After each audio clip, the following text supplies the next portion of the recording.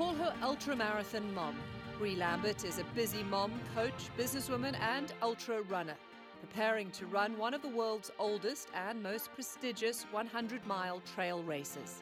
It is the most coveted uh, 100 mile race now in the world.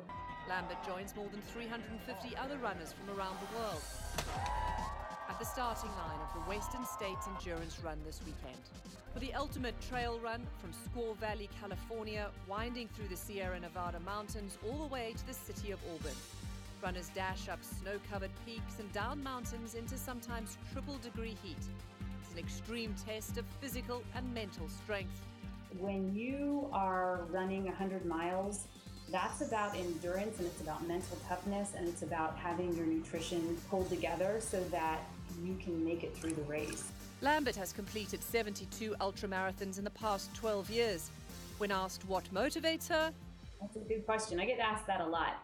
Lambert says she enjoys the challenge, the chance to experience something most people will never do, and she draws a parallel between life and long distance running.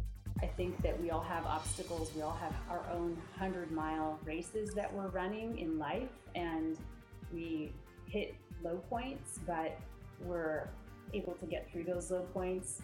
Her immediate goal run this weekend's race in under 24 hours, aiming for a top 10 finish.